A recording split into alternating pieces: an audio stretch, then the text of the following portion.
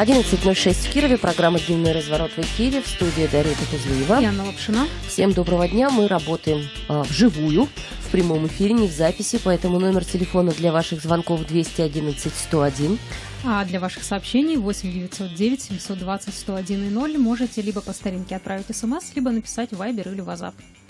Да, а, две темы у нас. После 12 часов к нам придут а, активисты активисты и участники обсуждения генплана, который проводил на прошлой неделе а, фонд «Городские проекты». Я напомню, не так давно отделение этого фонда появилось и в Кирове.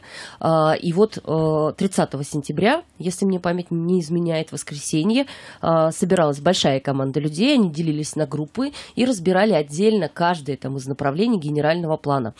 Сегодня у нас две группы из четырех будут присутствовать. Это группа, которая обсуждала озеленение территории развития общественных пространств, и группа, которая обсуждала сохранение исторического наследия а, в городе Кирове. Посмотрим, какие были предложения. Напомню, что, по-моему, до 7 сентября еще можно их вносить, mm-hmm. те изменения и предложения в генплан. Вот сегодня с активистами мы встречаемся после 12 часов, поэтому, пожалуйста, дополняйте 211 101 или мессенджеры.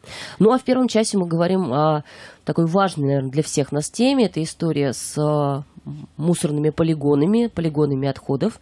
А, на прошлой неделе, опять же, напомню, стало известно о том, что а, по полигону Осинцы принято решение не не продолжать его работу, я бы так сказала, возможно, я ошибаюсь. Вот. И есть новости по полигону, который планировался к постройке в Лубягино, его тоже не будет. 27 э, августа об этом стало известно. Ирина Петухова в нашей студии, начальник управления по обращению с отходами Министерства охраны окружающей среды Кировской области. Ирина Юрьевна, здравствуйте. Здравствуйте. Я секундочку просто еще uh-huh. напомню слушателям, что нас можно посмотреть прямая видеотрансляция на нашем канале в Ютубе Эхо Кирова. И сейчас я через минутку буквально закину ее еще в нашу группу во ВКонтакте. То есть во ВКонтакте или в Ютубе, пожалуйста, заходите, смотрите, если вы любите смотреть, а не только слушать. Ну, давайте, Ирина Юрьевна, все-таки мы проясним ситуацию, во-первых, по осенцам, да. А, ну, очень коротко вспомним, что происходило вокруг объекта в последние годы. А, с самого начала, фактически, когда было заявлено о его возможном строительстве, начались ну, там, выступления жителей жителей окрестных там а, населенных пунктов.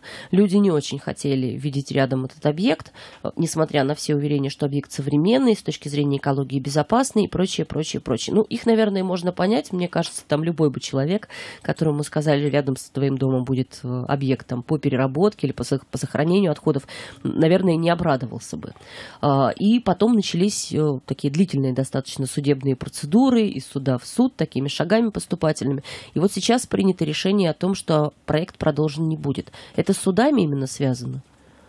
Да, 3 августа вступило в силу решение суда, которое отменяет разрешение на строительство и разрешение на ввод в эксплуатацию э, второй очереди, та, которая сейчас в настоящее время, точнее до настоящего времени эксплуатировалась. То есть очередь вторая, но на самом деле построена была первая, это первый чтобы этап... путаницы не было. Угу. Все правильно. Первый... Действующий уже как бы объект. Действующий. Угу. Первый этап эксплуатации, как по проектной документации было заявлено. Кроме того, э, решением суда отменено разрешение на строительство первой э, очереди эксплуатации, это более вместительная, которая по сравнению с построенной действующей очередью. То есть вот та карта, которая то ли на 7, то ли на 8 лет рассчитана, а, решение суда по ней тоже отменить разрешение? Разрешение на строительство отменено. Это а, решение суда, оно окончательное или с ним можно было бороться? Ну, то есть можно было протестовывать его? Насколько мне известно, по акту, по, решению, по разрешениям на строительство дошли до Верховного суда, то есть такая практика нарабатывается и другими регионами на территории Российской Федерации.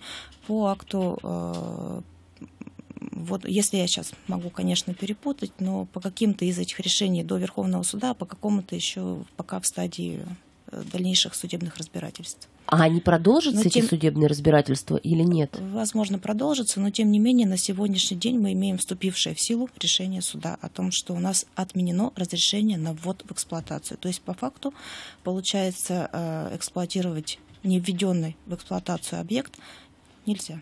То есть это идет речь вот о первой, о, о первой карте, которая на самом деле вторая, то есть о том, который работает сейчас да. и принимает отходы уже, да, полигон? Да, все правильно. А, то есть его эксплуатировать нельзя, все. Что mm. сейчас там происходит? То есть туда привозят еще все отходы или нет? Ну, вчера э, на данном полигоне были с представителями общественности, да, с представителями СМИ. Э, машины регионального оператора туда не едут, то есть твердые коммунальные отходы, которые образуются жителями, либо э, юридическими лицами туда не поступают. В нашем присутствии приехали две машины с песком, ну и один самосвал, который вез то ли строительные отходы, то ли отходы от разборки зданий сооружений. То есть вот такая ситуация. Значит, министерство, а, проанализировав всю судебную практику, которая имеется на территории Российской Федерации, на той неделе направило телеграмму собственнику полигона о том, чтобы он в добровольном порядке приостановил деятельность по приему отходов а, и а, параллельно направила уведомление региональному оператору о том, что необходимо перенаправить потоки на резервные объекты, которые у нас предусмотрены территориальной схемой. Это три полигона в Зуевском районе, в Оричевском районе и в Слободском районе около деревни Скоковы. Так, мы сейчас к этим полигонам попозже немножечко обратимся. Э, можно я уточню? То есть э, судебные разбирательства достаточно долго шли. Вот э, все это время рассчитывали все же выиграть процесс или где-то вот соломку уже подстилали, что называется? За это время были, рассматривались земельные участки для создания все-таки объекта областной собственности, так называемого объекта, по, а, связанного не только с размещением отходов, но и все-таки сделали уже упор на переработку, на сортировку, на переработку отходов. За это время было а, рассмотрено 26 участков, ну и, соответственно, а, на ряде из них изначально как бы остановились, стали более детально прорабатывать. Ну, один из них был в районе Лубягина. Угу. По Лубягина тоже чуть позже мы э, поподробнее э, проясним вопрос. Скажите, пожалуйста, вы сказали, что направлено э, собственнику полигона уведомление о том, что надо закрывать, да, что называется, ну, там, зак- закрывать лавочку на клюшку. А, а кто сейчас является собственником? То есть появлялась информация изначально о том, что центральный полигон собственника менял это предприятие, это организация, которая является там, да, создателем фактически этого объекта в Осинцах, владельцем его. Да, на самом деле э, министерством была запрошена выписка из э, Единого государственного реестра юридических лиц.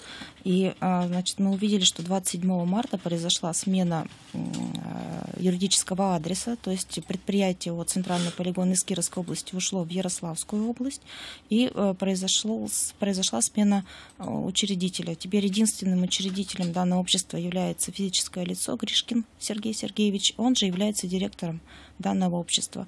И когда в первоначальной значит, телеграмму мы направляли собственнику по юридическому адресу, нам пришел ответ о том, что мы с уведомлением вручения направляли данный документ, о том, что данное юридическое лицо по данному адресу не существует. Угу. Так, и как же будут искать Сергея Сергеевича? Ну, его нужно найти, я так понимаю, или нет? Или вот, ну, как бы Сколько по закону... в этой ситуации от него зависит? По закону вы э, там сделали то, что от вас зависит, направили уведомление, и все. То есть вы дальше уже не несете за это ответственности. Ну... Там дальше уже сфера ответственности Сергея Сергеевича Гришкина, который не получил вовремя вот это уведомление. Наверное. Мы постарались еще по э, другим все-таки каналам связи. У нас официальным каналом связи также является и электронная почта, да, электронное взаимодействие, поэтому э, посредством электронной почты было собственником получено данное уведомление. А с предыдущим владельцем э, организации вы пытались как-то контактировать? Может быть, он знает, где искать Сергея Сергеевича, нет? Естественно, связь э, с ним держим. Э, я так понимаю, что через него и передаются документы собственнику. А какова сейчас будет судьба, судьба полигона вообще самого? То есть э, насколько навсегда его закрыли? Ну, то есть что это все равно же большая территория, и она, получается, уже и использоваться никак не может, и мусор мы туда возить не можем. Вот оно вот просто посреди там Слободского района так и будет теперь годами стоять или что? А, давайте на две части, наверное, разделим. Да. В конце той недели Министерство охраны окружающей среды все-таки... А, у нас есть решение, было, да, в конце той недели было решение суда об отмене акта ввода в эксплуатацию. Для того, чтобы понимать все-таки, можно э, продолжать деятельность на данном объекте или нельзя, а, действительно, объект должен быть остановлен для приемки отходов. Министерство обратилось э, в суд с исковым заявлением а, 4 августа были получены центральным полигоном новые разрешения на строительство и на ввод в эксплуатацию на эту же карту, в связи с чем вот министерство обратилось в суд, э, чтобы, э, скажем так, уточнить позицию да, и понимать, вновь выданные документы, они точно так же недействительны, с учетом того, что уже есть ранее вступившее в силу решение суда. Но, естественно, если они недействительны, то э, наложить обеспечительные меры, то есть фактически запретить эксплуатацию данного полигона. Насколько мне известно сегодня, вот идя в эту студию, э, коллеги мне подсказали, что судом принято такое решение, наше исковое заявление удовлетворено, и к концу дня появится уже официальный как бы, э, судебный акт на их э, сайте, портале, где размещаются эти акты. То есть все, как бы, точка на сегодняшний день поставлена. Что будет дальше с полигоном? Давайте не будем забывать, что объект это все-таки частная собственность, да, и э, здесь уже, э, наверное, понуждение к рекультивации, скорее всего, если добровольного не будет, то однозначно э, пойдем э, через, э, ну, какая-то из э, органов власти пойдет через суд, и э, ну, варианты рекультивации, либо что дальше сделать с этим объектом, они уже в ходе дальнейшего рассмотрения будут вырабатываться. А полигоны все в частной собственности или только этот? Нет, полигоны не все в частной собственности. Всего в территориальной схеме 23 объекта размещения отходов. Из них а, а, три э, частная собственность. Это полигон Осинцы и полигон в Кирово-Чепецком районе Новый Экогород. Еще один полигон принадлежит Куприту угу. региональному оператору. А не опасно ли вот отдавать э, такие объекты в частные руки? Ну, то есть вот вот эта вот ситуация, да, которая сейчас, когда собственник меняется, его элементарно не могут найти. Ну, здесь есть определенные риски. Э, создание таких объектов, оно э, все равно, э, конечно, достаточно затратное мероприятие, да, возврат денег в основном идет через тарифное регулирование, и не всегда у региона есть возможность либо из бюджета предоставить, либо быстро найти инвестора на создание угу. объектов размещения. То есть достаточно такая тяжелая тема, да, мы видим по, по последним обсуждениям э, в различной ситуации. Поэтому, в принципе, э, если объекты создаются частными инвесторами э, данной отрасли, да, и они создаются в соответствии с требованиями законодательства не только природоохранного, но и учитываются и градостроительные нормы и так далее, соответственно, как бы ничего страшного здесь нет. Так, я все-таки вот хотела бы прояснить по двум полигонам, опять же, в Осинцах все время я да, там путаюсь немножечко. Тот полигон, который был построен первым, у него же уже срок действия заканчивается. То есть фактически его и так бы закрывали. Или нет? Он, по-моему, создавался там то ли на полтора, то ли на два года. А, да, по проектной документации э, данная карта должна была эксплуатироваться до 1 июня 2020 года, и в адрес центрального полигона Росприроднадзором в июле месяце направлено предостережение о том, что э, по проектной документации срок действия данной карты закончился, срок эксплуатации. А, но получалась какая ситуация? У нас получилась такая аналогичная ситуация со всеми полигонами, которые строились по проекту в расчет вместимости всегда вкладывалось э, объем и э, переводился на массу с коэффициентом плотности там 0,2. Соответственно, э, когда мы сейчас проводили замеры по установлению новых, для установления новых нормативов накопления, мы понимаем, что у нас плотность вот не 200 килограмм да, в кубе, а гораздо меньше, то есть порядка 100, там, ну, 110 по отдельным категориям даже 60 килограмм в кубе. А, и в связи с этим тот объем Э, та масса твердых коммунальных отходов, которая поступает на полигоны, она, конечно, гораздо меньше. И получается, что по проектной документации полигон должен был принять в течение года определенное количество отходов. В килограммах, в килограммах, говоря, да? да. То есть угу. они на, а, по объему, может быть, и приняли, и вышли на проектные отметки, но по массе, к сожалению, вот, э, не дополучали э, твердые коммунальные отходы, а весовые у нас появились только фактически на всех объектах к концу 2019 года. И мы стали более-менее реально оценивать вот эту ситуацию. То есть, по идее, его еще можно было эксплуатировать. Мы про это сейчас говорим, да? По сути, здесь много факторов. Надо сравнивать объемные показатели, то есть объем а, они могли точно так же выбрать по проекту. Эти цифры известны только Росприроднадзору, да, и э, тот орган, который контролирует деятельность данных полигонов с точки зрения размещения отходов. Ну и, соответственно, есть проектные отметки, которые должны были э, выйти при заполнении карты, на которые должно было выйти общество при заполнении карты. И, э, соответственно, было бы уже тогда понимание, по объему они достигли, по массе они достигли, по отметкам они достигли, но тем не менее а, совокупность этих факторов а, оценивается с точки зрения дальнейшей эксплуатации. А почему так на мало карта рассчитана? Она небольшая или с чем Их две. связано? Ну, нет, понятно. Ну, то есть вторая это на больший срок получается? Да, она на 7 или почему на 8 такая лет, разница, насколько как, я Почему помню. такая разница в сроках? То есть одна получается на полтора года, а зачем создавать вообще что-то, что может полтора года только Ну, мне кажется, это изначально было сделано для того, чтобы быстрее построить там, да, какую-то о- очередь, наверное, да, начать принимать отходы или нет.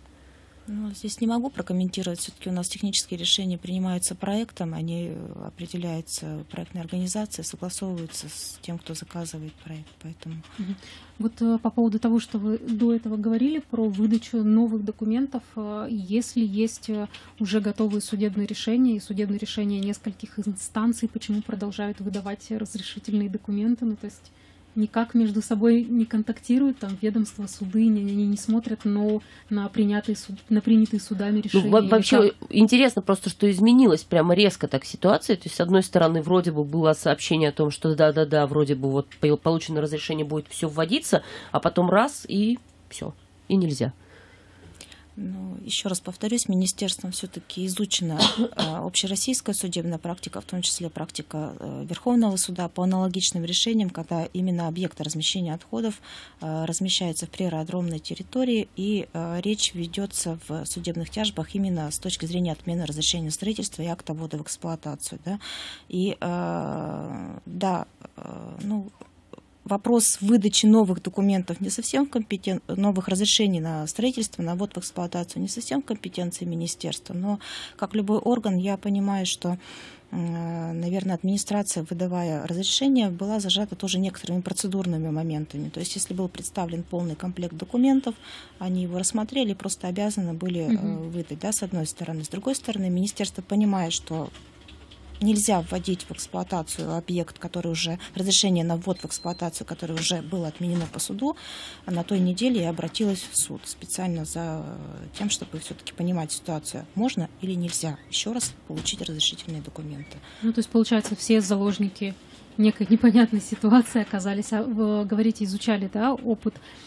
Э, У нас не единственных так полигон расположен в зоне аэродрома. При, при аэро- Это аэродроме. не уникальный какой-то Нет, случай. наш случай не уникален, точно аналогичная ситуация, как вот я знаю в Вологодской области, ну и в ряде других регионов, то есть достаточно часто тоже встречается в федеральных СМИ сообщения о том, что разбирательства очередные происходят по поводу э, размещения объекта уже действующего, причем точно так же да, в приаэродромной территории. А что за история вот э, с этими 100, 100 по-моему, да, миллионов? Это инвестиционная составляющая. Мы сейчас, да, вот обратимся. Я только хотела все-таки уточнить по поводу первого объекта, который на самом деле второй и еще не построен. Там ведь работы уже какие-то велись по нему или нет? Или там ничего не было сделано? Вот по второй как бы очереди, которая должна была запускаться на смену той, чья там, э, чей срок действия подходит к концу. А, Значит, э, ситуация какая? Министерством э, в рамках полномочий мы имеем право э, запрашивать э, с той организации, которая реализует инвестиционную программу, отчетность два раза в год. да. Мгм. И э, в соответствии с э, отчетностью вот за 2020 год, э, когда действительно должно было происходить строительство следующей карты, э, министерством показан расход на 10 миллионов, но при этом никаких обосновывающих документов адрес не представлено. А вы ездили туда, вот я так понимаю, что ездили, да, накануне в, в Осинце, по-моему. Вы там, ну, видели, есть какие-то работы-то рядом? Она же рядом должна быть, эта вторая очередь или нет? Мы вчера были, да, действительно были. э, Я так, наверное, громко сказала на полигоне. Мы были у шлагбаума. Естественно, на территорию мы не проходили. А, А здесь почему вас не пустили туда?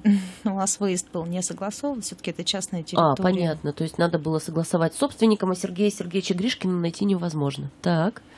Вот, и а, действующая карта, она просматривалась э, ну, со стороны забора ну, с одной стороны просматривалось, э, вот, а строительство следующей карты оно не просматривалось. Не видно было. Да. Есть там какие-то что-то уже ведется или, или нет? Понятно. Ну вот это, собственно, тот вопрос, который там, ну, перед, перед тем, как мы про инвестиционную составляющую начнем говорить, важно было понимать, все-таки ведутся там какие-то работы или не ведутся. Есть затраты какие-то собственника объекта и или важно, нет что затрат? мы это не поняли, да? Вот, нет, ну просто этого было не видно, но подтверждающих документов того, что какие-то работы ведутся, их, их нет тоже, нет. вы говорите, да? да? Так, хорошо, вот инвестиционная составляющая. То есть об этом тоже много у нас говорилось. Говорилось о том, что в тариф заложена инвестиционная составляющая, и эти средства как раз должны быть направлены там, на сооружение и на строительство объекта и на какие-то работы по нему. Вот. А, и было заявлено о том, что там, по-моему, порядка 300, да, Сколько не подтверждено? Не подтверждено 100. Ну вот, да. Ну, чуть больше 100 миллионов. Угу. Давайте я по цифрам поясню. Значит, если говорим э, о том, сколько общество получило за счет тарифа инвестиционных денег за 19 и 7 месяцев 2020 года, это получается около 212 миллионов. За 2019 год общество подтверди, подтвердило, в том числе документами, представило акты выполненных работ, договоры, 98, э, освоение 98 миллионов э, рублей, фактически это подъезд к полигону. И э, в этом году, еще раз повторюсь, 10 миллионов заявлено Счет mm-hmm. фактура представлен, но больше никаких подтверждающих документов, ни договоров, ни актов выполненных работ э, обществом не представлено. То есть вот фактически мы считаем из 212 подтверждены только 98 миллионов. Так, и что будет теперь? То есть вот эти 100 с небольшим миллионов, которые не подтверждены, их э, собственник объекта должен будет вернуть или, и, или как? Ну, то есть если он не представит подтверждающих документов на эти средства? Ну, а тут с точки зрения тарифного регулирования, видите, деньги все-таки включены в тариф, инвестиционная надбавка, она включена в тариф, инвестиционная составляющая, поэтому здесь а, дальнейшее будет в плоскости, наверное, тарифного регулирования рассматриваться вопрос, если это будет возможно. Если нет, то получается, что ну, не подтвердивши, вынуждены будем, конечно, ну, вот с учетом того, что это не просто там деньги, да, а конкретно инвестиционная составляющая этого тарифа, а Хорошо, 98 миллионов на подъезд потрачено. Ну, то есть на дорогу потрачено, на дорогу. да, 98 mm. миллионов. Но ее видно, она есть, да. А что дальше? Ну, опять это тоже вот как- как-то кажется не совсем та инвестиционная составляющая, которую ожидали люди. Потому что когда говори, э, разговор велся об этом, то есть речь шла непосредственно об объекте. Об, объ, э, об объекте и о том, что там что-то появится, что-то вроде мусоросортировки, мусоросжигания. Нет? Ну, мусоропереработки, я не знаю, что-то будет такое или нет? Это, это или закладывалось здесь инвестиционная, или нет? что составляющая, что она вообще собой подразумевает? Чего нужно было ждать? А, значит, Инвестиционная программа Центральному полигону утверждалась в 2018 году. В то время Министерство охраны окружающей среды еще не исполняло данные полномочия, поэтому рассматривались документы другим органам исполнительной власти. Это, по-моему, было в э, подведомственности другого какого-то министерства. Не, по не, не помню какого сейчас уже. да. А, и, соответственно, мы приняли то, что уже было утверждено, и э, так. то, что имелось да, по факту. А, в составе инвестиционной программы было строительство подъезда к полигону а, и строительство последующей очереди. То есть строительство вот этой второй э, да. карты, которая первая, которая не открылась. Да. Все-таки возврата к ней, ну вот э, я так понимаю, что по ней это еще нет окончательного решения, что точно нельзя. А, насколько реально, например, возврат к этой карте? Ну, просто мы вот сейчас видим, например, генплан, да, и вот у нас во втором часе будут активисты, которые обсуждали его в очередной раз. И в генплане, если я правильно понимаю, там один из таких моментов, который привлек внимание, это вынос а, аэродрома как раз из Порошина, по-моему, куда-то в сторону Исуповской. Может быть, я ошибаюсь. То есть вот в ситуации, если, например, а, аэродром оттуда убирают, возможен возврат к полигону в Осинцах или нет? Ну, в перспективе нескольких лет. Понятно, что это там, если ну, то случится, то не завтра. С какой-то консервацией или его с чем-то. То да? есть, возможно, его там временно приостановить сейчас, а потом инвестору, собственнику этого объекта, когда вот этот вот фактор мешающий исчезнет, вернуться. Мешающий фактор. Ну, мешающий фактор, наоборот, вид, вид, ну хорошо, ладно, да. Исторически, конечно, аэродром первым появился. Ну, сложно судить. Тут, наверное, все-таки вопрос такой более широкий, и не только в компетенции Министерства охраны окружающей среды, Наверное, не смогу пока на него То есть ответить. По пока этот вопрос даже не рассматривался, да? да? да. Давайте прервемся тогда на полторы минутки, а после продолжим. Продолжаем разбираться в ситуации вокруг Осинцев с Ириной Петуховой, начальником управления по обращению с отходами Министерства охраны окружающей среды Кировской области. А, Все-таки а, вот сейчас было озвучено, что на замену Осинцам, которые закрылись, мы пока не знаем все-таки окончательно или нет, потому что вот по той очереди большой, длинной, на 7-8 лет рассчитанной, пока, как я понимаю, все-таки окончательной ясности нет, предлагалось три полигона. Можно я еще один момент да. по усинцам уточню? А правильно ли я понимаю, что туда возит не только рекоператор? Ну, вот те, Вы говорите, те, что там те, еще были какие-то машины со стройматериалом или еще с чем-то. Как много нужно участников проконтролировать, чтобы туда перестали возить? Ну, конечно, на любой из полигонов э, твердых бытовых отходов до 30% э, возможно принимать промышленные отходы. Угу. Поэтому помимо твердых коммунальных отходов, которые, за перевозку которых отвечает региональный оператор, а собственники таких объектов, они вправе заключать прямые договоры с юридическими лицами э, за, на прием ну, любых отходов, которые э, не отнесены к ТКО, но являются и включены у них в перечень лицензий. То есть, э, скажем так, в тот разрешительный документ, который разрешает им право размещать такие отходы на ну, полигоне. Этот круг, получается, известен только собственнику, да, потому что тут э, накануне или сегодня, я не помню, появлялось сообщение о том, что если вы заметили, что на полигон вывозят э, по-прежнему мусор, нужно обратиться там, не помню, в какой из надзоров, Министерство, Росприроднадзор. Да. То есть, получается, такая ситуация вполне реальна, да, что кто-то может быть не в курсе о том, что полигон приостановил работу и продолжит туда возить, а собственника мы найти пока не можем. Ну, но полигоны есть предписание не принимать. То есть, просто по, по идее, полигон должен разворачивать эти автомобили, а еще-то лучше предупредить всех э, э, партнеров, там, да, всех э, пользователей да, о том, конечно. что нельзя. Добросовестное привозить. юридическое лицо так бы, наверное, и поступило в условиях того, что все-таки есть решение суда, и э, что уже органы власти да, предупреждают о том, что необходимо приостановить деятельность до понимания, до ясности. Ну, вот, к сожалению.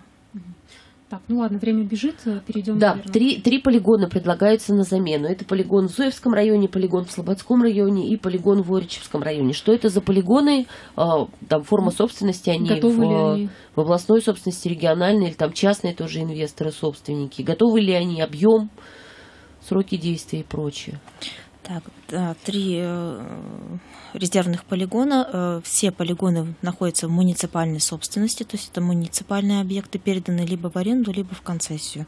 А, самый современный из них полигон в Оричах. Вчера тоже были на этом полигоне. Э, значит, построен полностью, введены в эксплуатацию четыре карты, две пока эксплуатируются, запас мощности имеется. А, Какой, Ирина Юрьевна? Так, давайте. Да, да, по объему. Какой или по, по, по годам, на сколько лет это все рассчитано?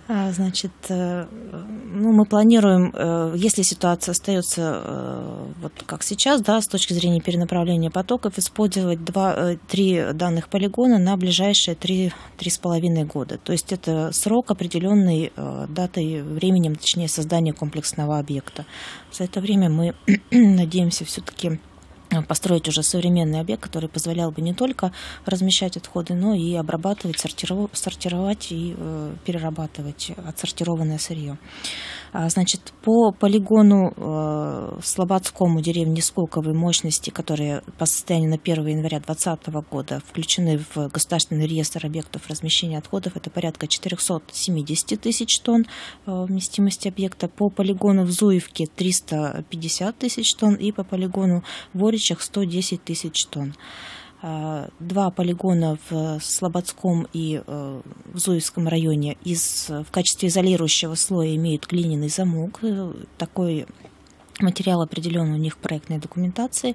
Это на... насколько современные технологии? Ну, э, может быть, они не настолько современные, но в определенных у нас выбор замка определяется гидрогеологическими условиями, да, место размещения полигона и документами, которые ну, та же самая инструкция по эксплуатации, э, строительству, э, рекультивации полигонов позволяет устраивать э, данные такого вида замок. Соответственно, на полигоне в Оричах геомембрана.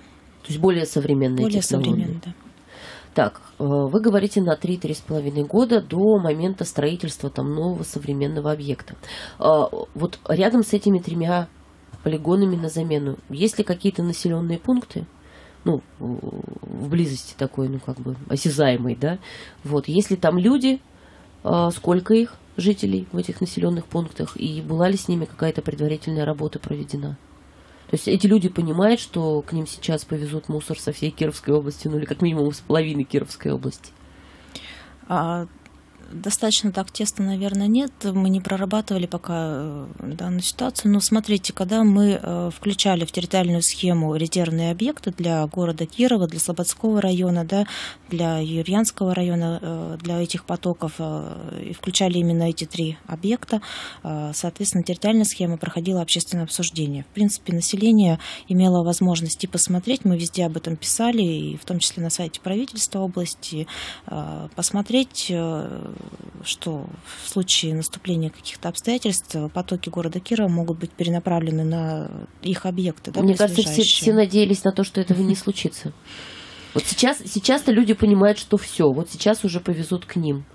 Ну, вблизи э, данных объектов населенных пунктов нет, то есть санитарно-защитная зона у нас там везде, во всех объектах выдержана. Ну, ближайшие населенные пункты там километра два-три, может быть, на расстоянии. Точно не могу сказать. Ну, два-три километра ну, это меньше часа пешком. Ну, то есть mm-hmm. это близко достаточно. Куда? Верхнекамский район, что ли, возить-то мусор этот? Чтобы людей вот, не было Вот вопрос-то в том, ну, что смотрите, да. да, вот по поводу вывоза мусора и расстояния. Изначально, когда только конфликт э, вокруг Осинцев начал разгораться, а, в правительстве говорили о том, что увозить мусор куда-то в другие районы нецелесообразно, потому что это так или иначе отразится на тарифе, и непонятно еще, э, не вырастет ли количество недовольных людей. А сейчас, э, насколько я понимаю, заявили о том, что вот это вот рокировка на тарифе никак не отразится. На тарифе на действующем никак не отразится или на тарифе, который будет там и в последующие годы тоже? Ну, то есть расстояние до полигона, например, от Кирова, наверное, больше, чем до Осинцев. Э, на тарифе действующего года никак не отразится. Как отразится на тарифе следующего года? Все-таки это, наверное, у нас компетенция региональной службы угу. по тарифам. Да, это будет э, видно уже в декабре, когда будет утверждаться единый тариф регионального оператора.